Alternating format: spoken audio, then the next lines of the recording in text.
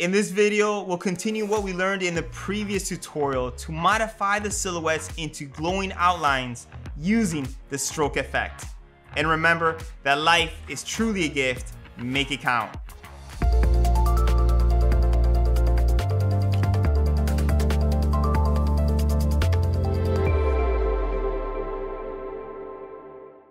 To create the outline effect, we'll work off the silhouette layer that we created in the previous tutorial head over to silhouette. Let's make a copy, control D or command D, and let's rename it to outline. And what I'll do, amigos, is let's change the color to yellow. So we know that it's different from the silhouette.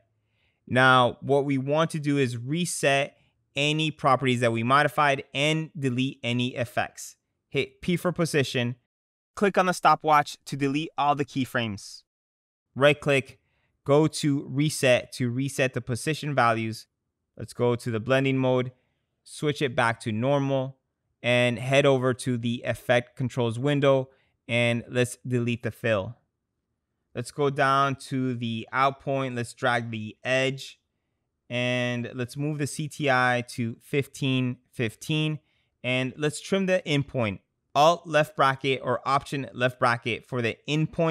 And now let's add the outline go to effect, let's go to generate, and let's go all the way down to the stroke effect. Now for path, we only have one mask, so mask one is perfect. Let's go to brush size, let's make it five. And for the brush hardness, make it 100%. And for the paint style, let's switch it to on transparent and let's check it out. Okay, it needs the glow effect. So what we'll do is let's go to the text go to the glow and let's copy the glow effect. Control C or Command C to copy this effect. Go back to the outline, Control V or Command V to paste it. And what I'll do is let's change the glow colors.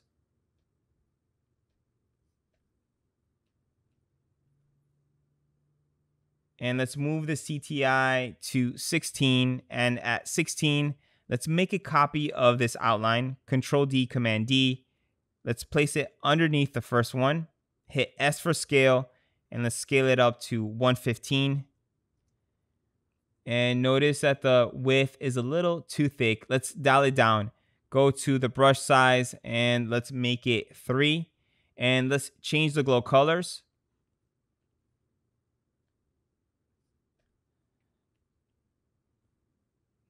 And let's trim the in point for outline two. Alt left bracket option left bracket for the in point. And let's move the CTI to 1610.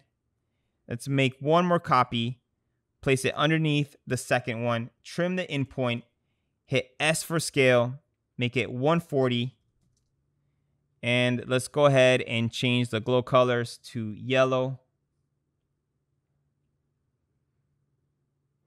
And that's it. Let's check it out, amigos. This concludes Adobe's Learn from the Pros series. I truly hope that you learned a lot, you enjoyed it, and remember that life is a gift. Make it count